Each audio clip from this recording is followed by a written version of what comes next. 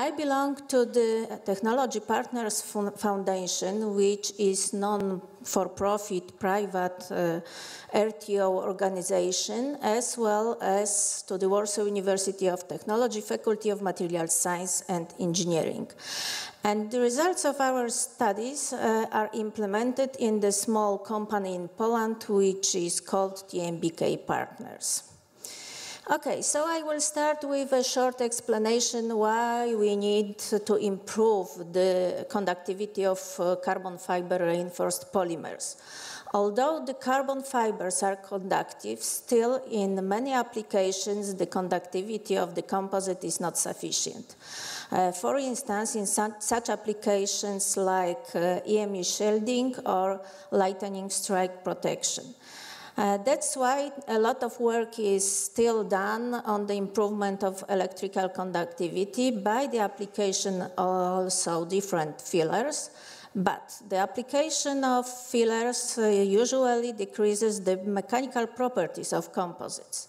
So among different fillers, uh, carbon nanotubes seems to be very attractive because they can improve the electrical conductivity with the much lower concentration of the filler in comparison to uh, commonly used fillers like carbon black.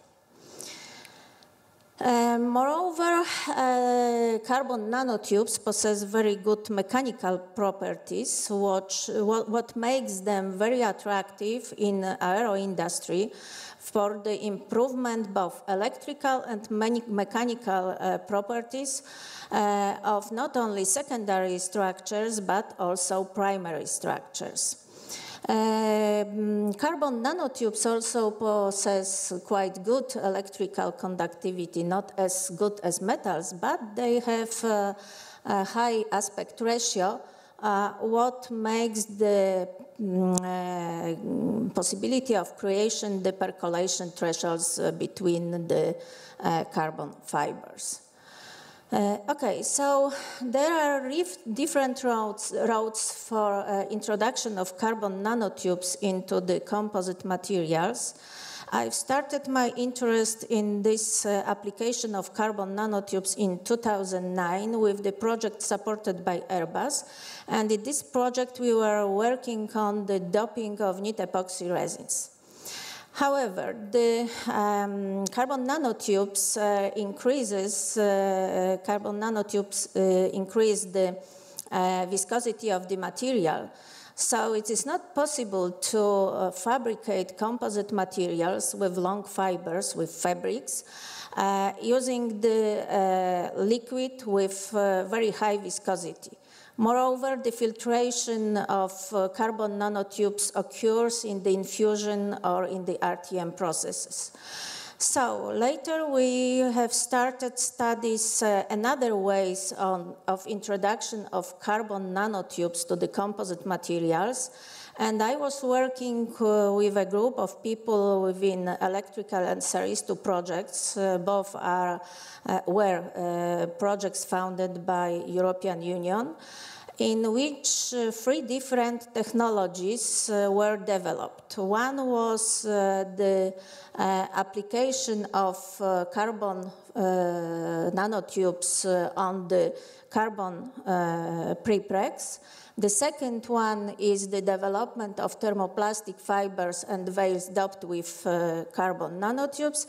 And the third one is CNT Bucky uh, papers. And those three technologies currently are uh, developed within project platform and my group is responsible for the development of thermoplastic veils doped with carbon nanotubes. You can see just a short explanation uh, about the platform project. There are three pilot plants. One is located in, in Spain, uh, and the Bucky papers are currently produced in San Sebastian. Um, the CNT doped prepregs are produced uh, in um, Italy, uh, in Patras, and my group is located in Warsaw, in Poland. And uh, we are working on development uh, of CNT doped veils a, on a large scale, so we have to uh, create a pilot plant. Okay, first a short explanation what is uh, thermoplastic veil. Uh, the veil is the non-woven with uh, very low, let's say, areal weight from 6 uh, up to 20 uh, gram per square, square meter and is usually used for the improvement of mechanical properties uh, of composites. It's placed between the layers of fabrics uh, or sometimes on the top of the material for the surface finishing. Currently present veils on the market are non-doped with carbon nanotubes. So we decided to dope this uh, material with uh, carbon nanotubes to have the uh, both in one. Uh, the improvement of mechanical properties as well the improvement of electrical conductivity. Uh, and uh, here you can see some requirements for the material, thermoplastic material, which is used, uh, or generally speaking, for the veil. Uh, that is low melting point because um, uh, the uh, veil is placed between the fabrics and then usually RTM or infusion of the liquid epoxy resin is done. so this should be melted during the curing of the composite, not, uh, not uh, before the, the, the, the, curing, not during the infusion. Uh, it should be compatible with epoxy resin. It should also mm, be easy in handling and not affect the, the fabrication process of composite materials. Uh, and it should uh, possess also uh, high uh, production capacity. Uh, so we developed two approaches uh, for the fabrication of thermoplastic doped veils. The first was done uh, at the level of the university. the fibers were doped with carbon nanotubes were extruded from master batches uh, then they were cut and pressed in the form of veils using uh, thermopress. Why thermopress? We didn't want to use any, uh, any binders, any additives, because aero partners from the project said no. No additive because they will affect the uh, uh, fabrication process of composite parts. So that's why we, we use the uh, thermal process for binding the fibers. Uh, and the composites, as you can, you can see, were successfully uh, fabricated with the infusion process. You can see the, in the end, uh, the SEM uh, structure of the uh, composite material through the thickness of the material and the distribution of carbon nanotubes. As you can see, we loaded uh, quite high number of, uh, large number of uh, carbon nanotubes, 7 8 percent, uh, to the fibers. And in this project, we are working with multi-wall carbon nanotubes. I will show you la later uh, the results from single-wall carbon nanotubes supplied uh, by OCSiAl. And we improved the conductivity of composite material in Z direction, what means through the thickness of the material, uh, more than 300%. So it was quite good result.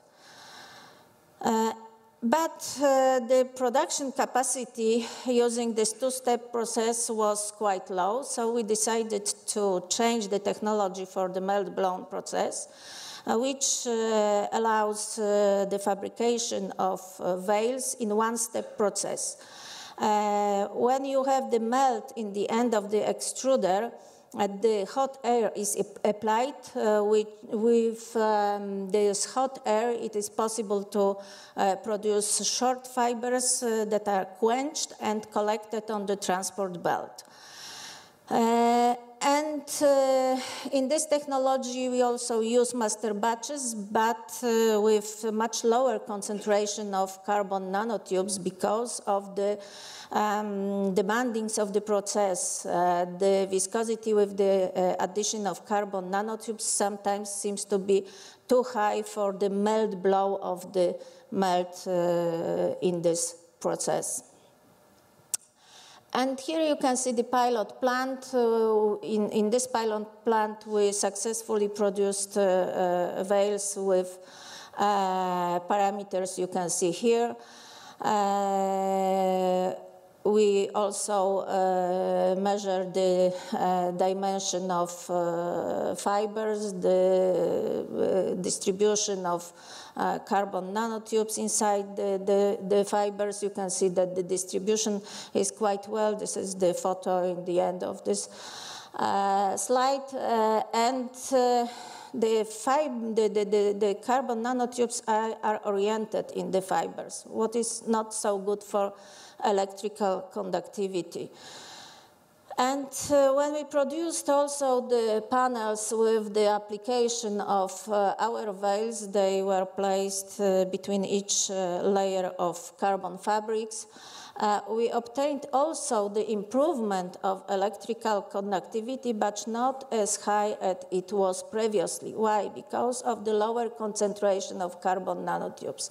In this case, we were we had only 2.5 weight percent of carbon nanotubes. But still, uh, comparing to the reference panel, this is 16 times more uh, higher conductivity in the Z direction in composite material.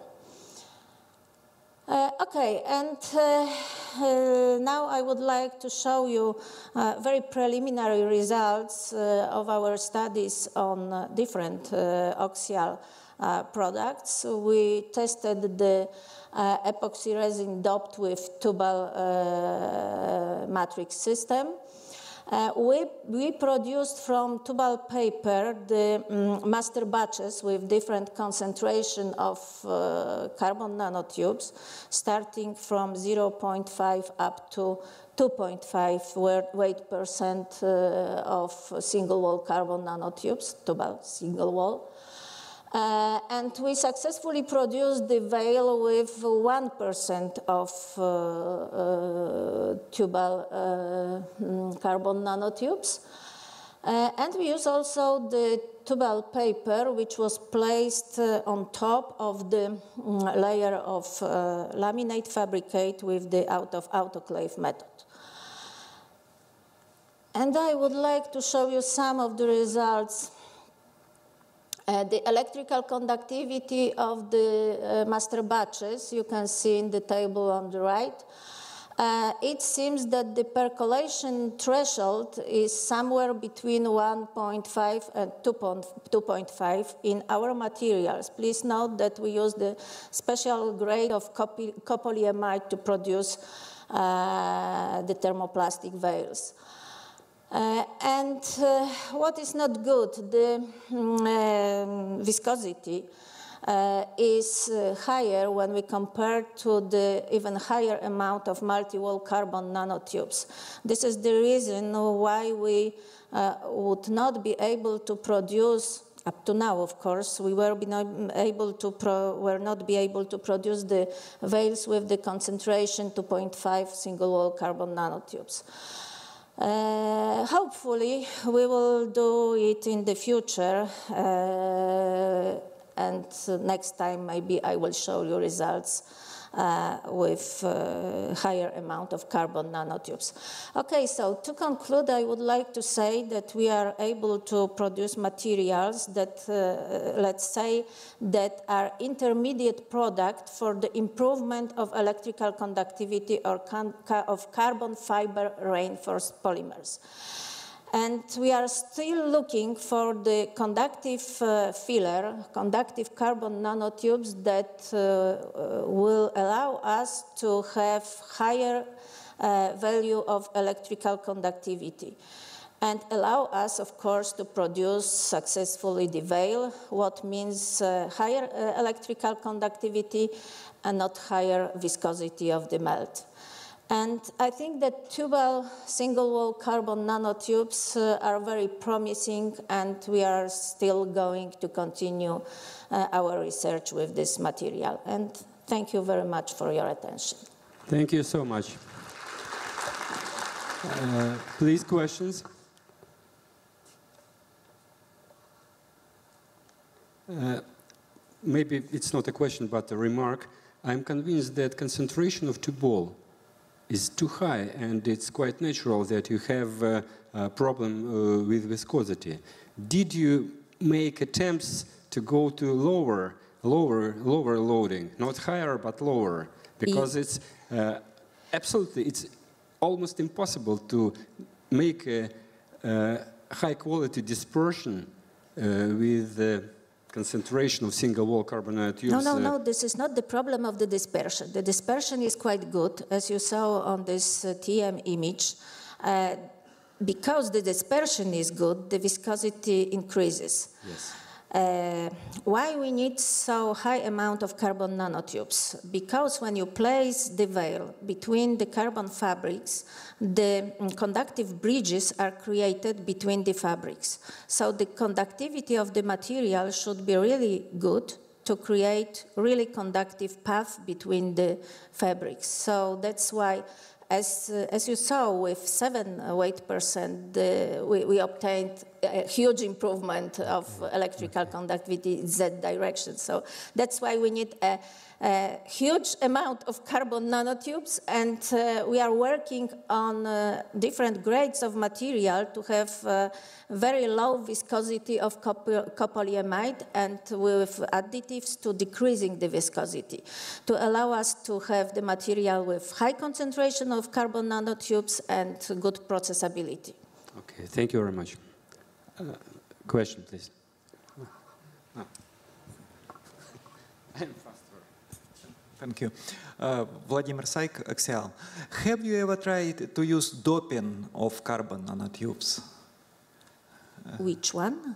Uh, did you try to use the uh, doped nanotube, like P-type doping oh, or yeah. N-type? No, no, no, no. Like, uh, like this, not. Uh, we used only carbon nanotubes modified with functional groups, with amino groups, but the conductivity was even lower because of the um, deterioration of the, of the surface of carbon nanotubes. So I don't think that this is a good direction, but yeah, we can try.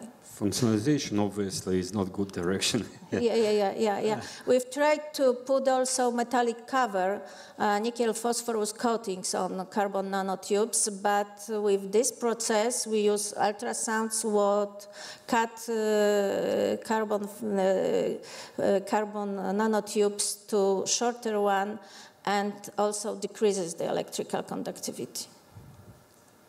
Thank you very much.